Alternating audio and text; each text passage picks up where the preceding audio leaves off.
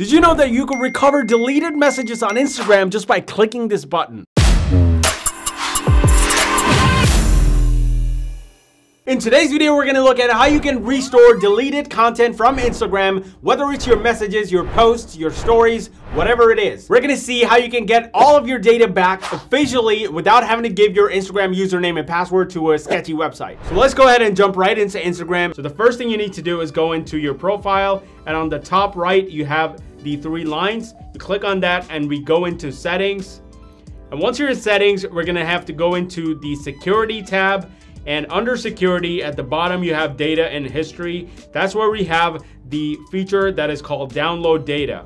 So as you can see right here under access data, we have download data. I'm gonna go ahead and tap on that. Once you do, it's gonna bring you to this screen where it's gonna ask you for your email address.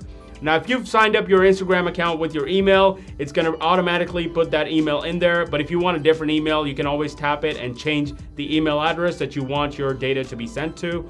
So once you have your email in there, just click on request download and it's gonna ask you for your Instagram password. So there you go. Now your data is being sent to you on your email address that you put in in the previous page. And uh, it, depending on how much data you have on your Instagram, it might take a while, but it's gonna send you a file with every data on your Instagram account. Every single one of your posts, your stories, your messages, even the deleted messages are all gonna be there and that is how you will be able to view them. Unfortunately, there's no way to bring those deleted messages back into your inbox, but you can still access them. You can still have a copy of them available for you. So that is a plus. So there we have it. We just received an email from Instagram saying your Instagram information. I'm just gonna go ahead and click on download information. It's gonna jump into Instagram and open the browser. So here we're gonna have to log in with your Instagram account. And once you do, you're gonna have the link to download it. So let's go ahead and do that.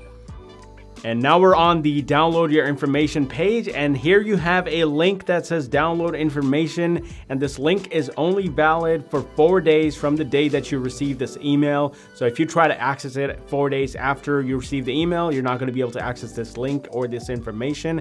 So just go ahead and tap on download and it's gonna give you a zip file with all of your Instagram information, including your posts, your stories, and your deleted messages. So there we have it. It's in the downloads folder. Let's go ahead and see what it looks like. I just tap on it and it opens up the zip file. And inside the main folder, we have all of these subfolders with different categories for your contacts, for your likes, your photos, your videos, and your messages. So everything, including your deleted messages, is now cataloged in this folder.